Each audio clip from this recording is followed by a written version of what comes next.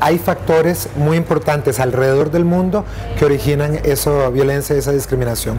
El primero es la criminalización.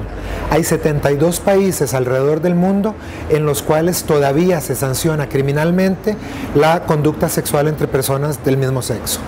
Eh, en 10 de ellos se sanciona con la pena de muerte.